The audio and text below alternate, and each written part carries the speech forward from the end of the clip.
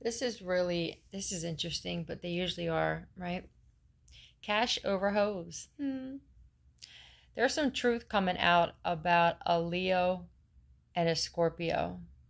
There's some truth coming out about these. This is their motto cash over hose. So these could be two people who thought that they were pimps, or they were trying to be, or striving to be pimps. Hmm? Going to work, or am I? Where are they really going? I don't know.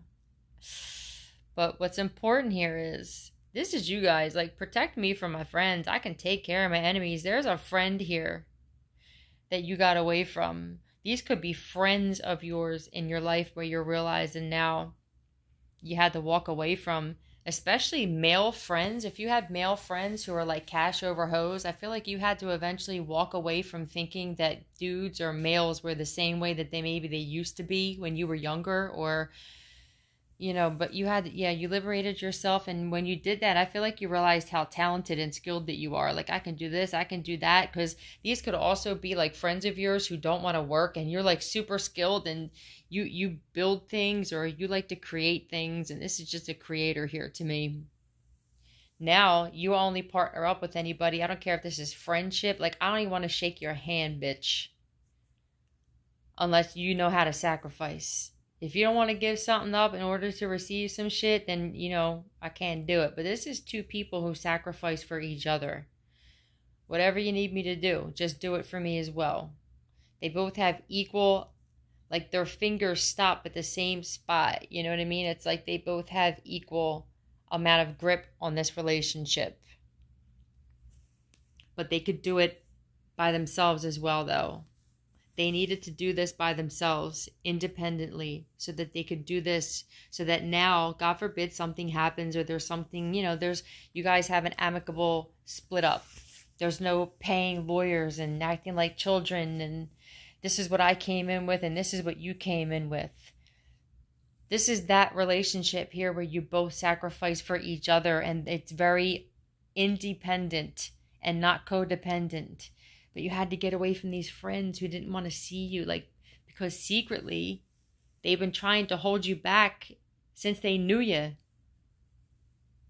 this this is definitely i mean this could be women or men cash over hose i mean shit this is just somebody who chooses money over their friends. You though you're loyal. You sacrifice your damn self for these people. And that was a lesson that you had to learn. Liberation lessons. This is amazing I don't know if you have this now. This could not even just be relationships. This could literally just be you knowing what you bring to the table. You create shit. Everything's always better when I'm around. I'll only partner up with people. Work, I, I won't even work for somebody. I won't do work with somebody. I won't be friends with anybody. I damn sure won't date nobody that doesn't know how to sacrifice and give shit up for stability. Someone that's not going to come there, shake your hand too, and behind your back try to sacrifice your ass and act like they're single when you're really in a relationship. These two people have both healed from some things. You want somebody that is independent and not codependent. We can get together and we can sacrifice some shit, but it's not going to be me just sacrificing some shit. And then now, all of a sudden, I come in this bitch independent, marry you, and then I'm left with nothing. Death. No.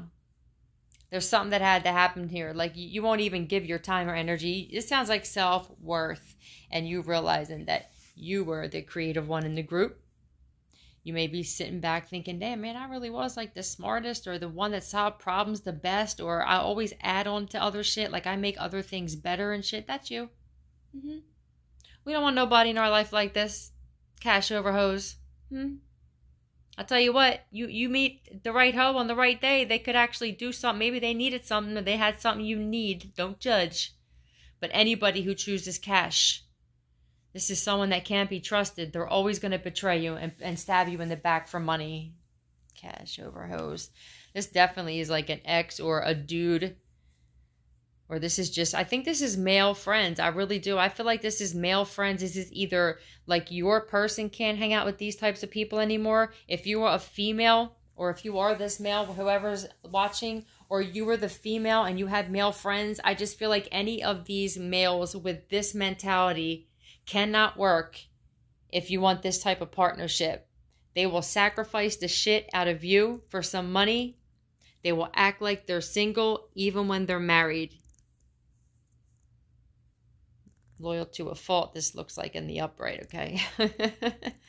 anyway, you get the gist of this whole thing, right? This was something you had to realize is that your friends, especially if these were male friends, divine feminine, and you know that energy you give off where all your friends are in love with you. They just don't tell you, and then they get mad when you date somebody because they didn't have the balls to tell you how they really felt about ass. You know what I'm talking about? These dudes have been secretly trying to hold you back since they've known you because they all wanted you divine feminine. This could be the friends of your person. This could be the friends of every person you've ever dated. Divine masculine, this could be your friends when it came to your relationship with a divine feminine or even a friendship with a female. You know what I'm talking about. It's going to be these jealous friends and supposed friends, but I feel like these are men that wanted somebody else to have this kind of view. Yo, man, what do you do? What do you mean you talk about you sacrifice things for somebody in here that you're in a healthy relationship? What are you talking about? Cash over hose. And somebody's like, nah, sorry, liberated myself just like, I don't know, last Friday. See ya. this is some shit. I love it.